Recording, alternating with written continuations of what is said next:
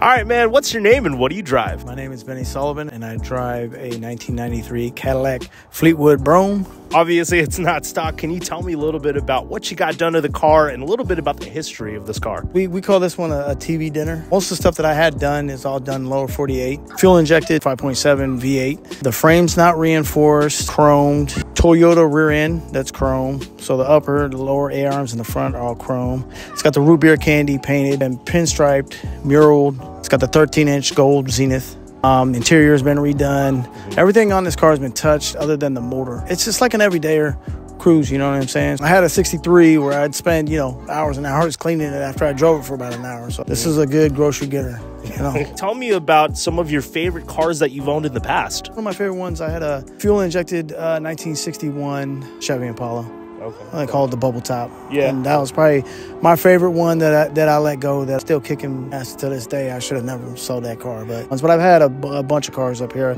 Yeah. A couple 63s, 64.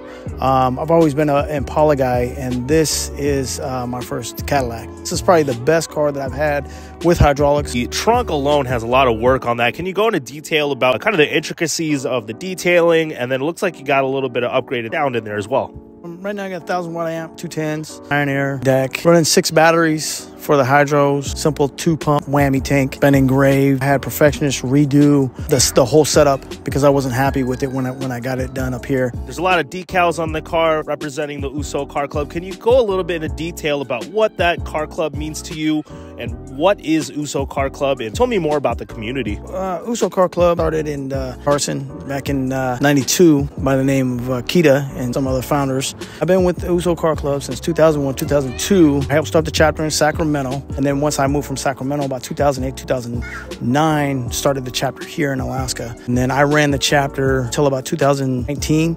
Uh, Loco is running the chapter now. Everybody's supportive, you know what I'm saying? We're just like a family up here. Trying to, you know, just spread the word too with these young kids, you know, we're trying to get them involved. Let, let the kids know, hey, man, that's on TV, but up here in Alaska too, you know? So one other person I like to mention is, is my boy Brandon. You know, Brandon had a, a big part of lowrider community here. What I like about uh, USO, there's no color lines, you know what I'm saying? It's Samoan for family. So it's like, oh, it's only Samoan. No, we got Mexicans, we got black, we got white, we got Asian, we got everybody. You know what I mean? And when other clubs say they're worldwide, we are worldwide. You know, we're in Alaska. They ain't no other chapter. You know, low riding in Alaska. You know what I mean? Just like anybody who drives a car or hot rod, we only get three to four months of really riding. And then if that, if it doesn't rain or anything like that, you know, I like to think us being so far up here, um, we are some riders. What got you into cars in the first place? My dad to cruise around the strip, and I grew up around the muscle scene. My dad had a Maverick, 78 Maverick, the 302, and he had a blower in it.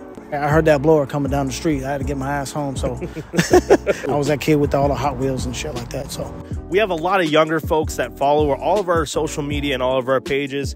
If you had any words of advice to them, what would you have to say?